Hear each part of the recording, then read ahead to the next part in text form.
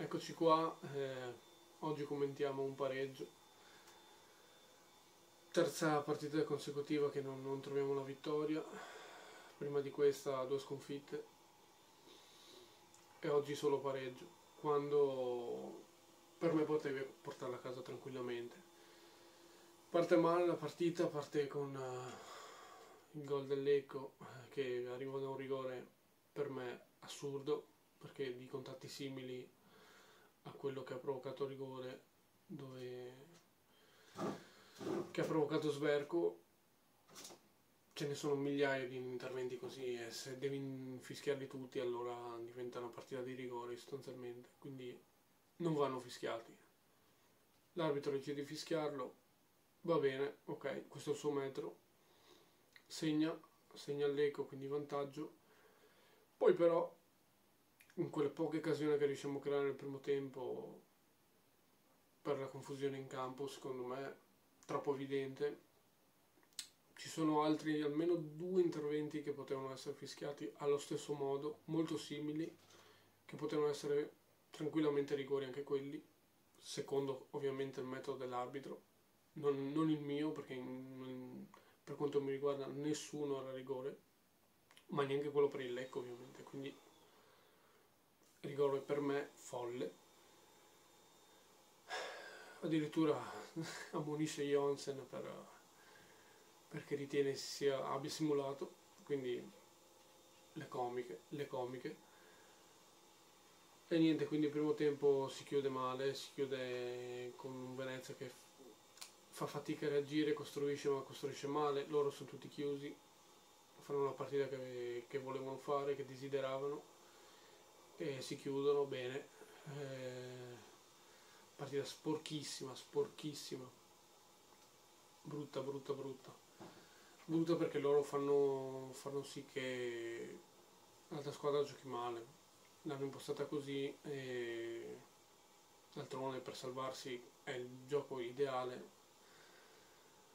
Per portare a casa punti anche contro squadre nettamente più forti di te e hanno fatto bene, ci sono riusciti non si può dire niente. E secondo tempo ripartiamo bene, arriviamo subito aggressivi, c'è un altro piglio insomma e riusciamo a trovare il gol. Gran gol di Jonsen sul lancio di Tesman, su un cambio gioco pazzesco, pazzesco. E Jonsen si imbuca bene ed è 1-1. E lì effettivamente poi un minuto dopo arriva il gol, un gol micidiale di Tesman che da casa sua la mette dentro.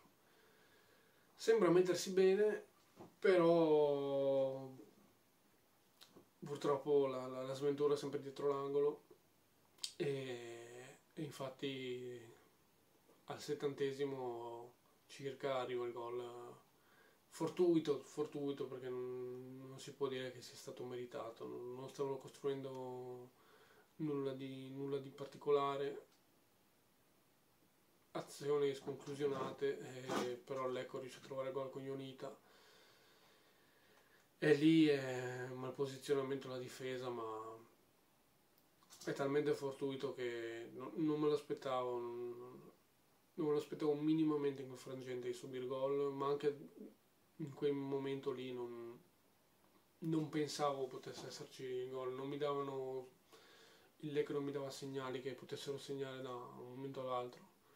Purtroppo così non è stato e, e ce l'hanno messa in quel posto. E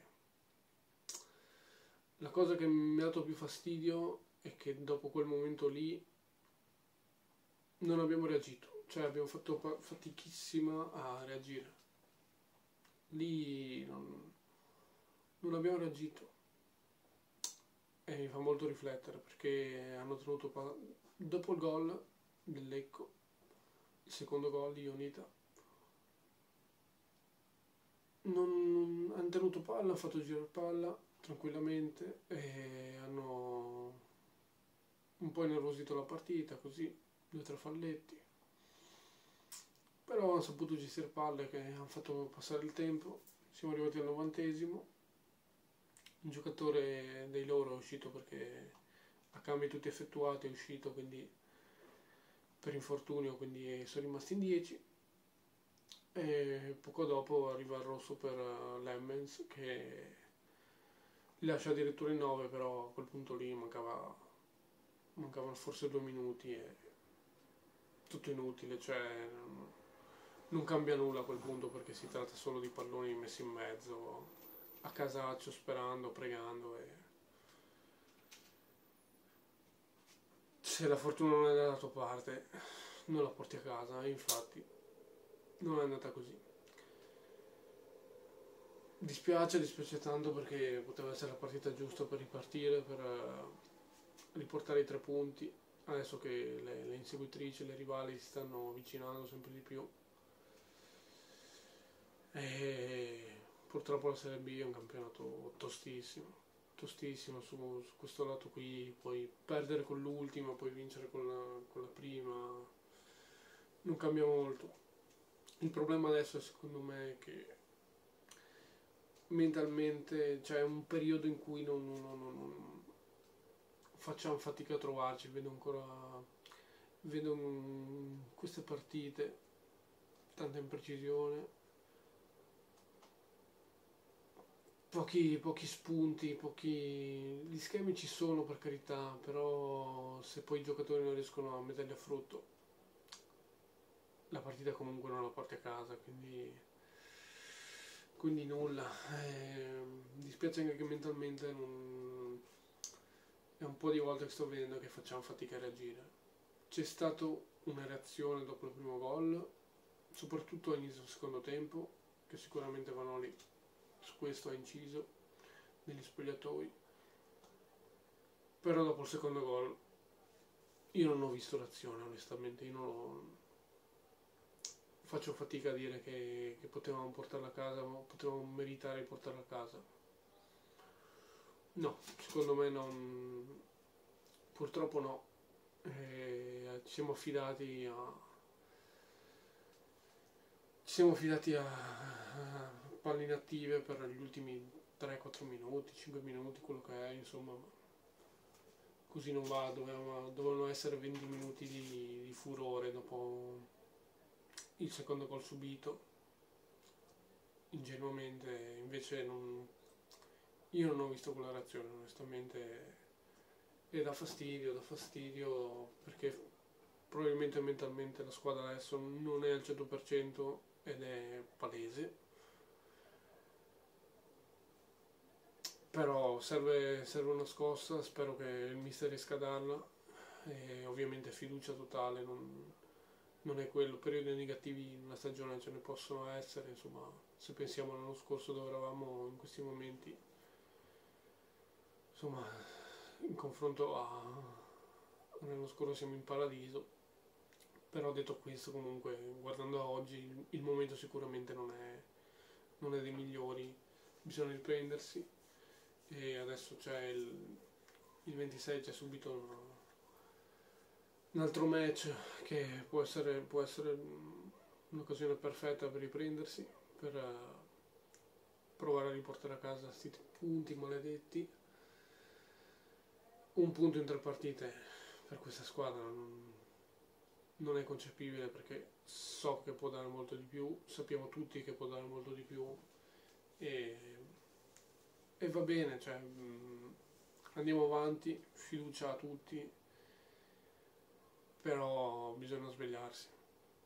Nulla, io non so cos'altro dire, spero nella reazione.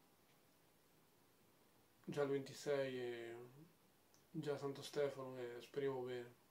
Speriamo bene perché valiamo molto di più di, di quanto abbiamo fatto vedere oggi. Nulla.